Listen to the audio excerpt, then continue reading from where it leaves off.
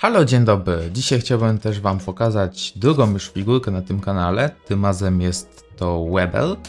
E, no, w sumie to już opowiadałem o samym jak to wygląda, więc od razu przejdę do figurki. To wyrzucę z kadru. I prezentuje się on tak.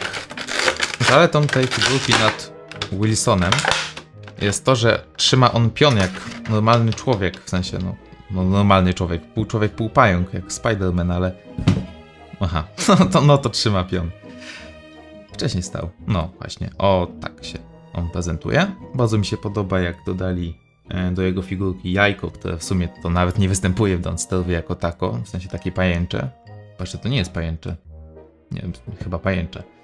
I jako towarzysza ma on Spider Warriora, czyli oczywiście naszego wojownika. Mm.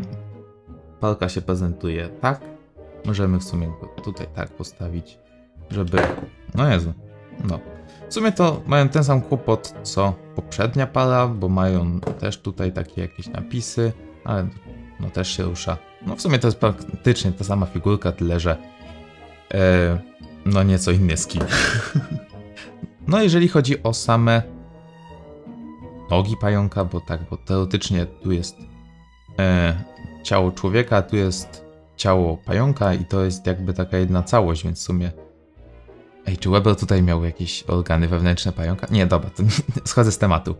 E, podobają mi się te odnóża, bo są takie w miarę stabilne i nie wyglądają jak coś, co by miało się zaraz odłamać.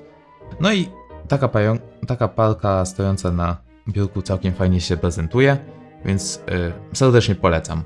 Dziękuję więc za oglądanie i do usłyszenia w następnym materiale. Cześć.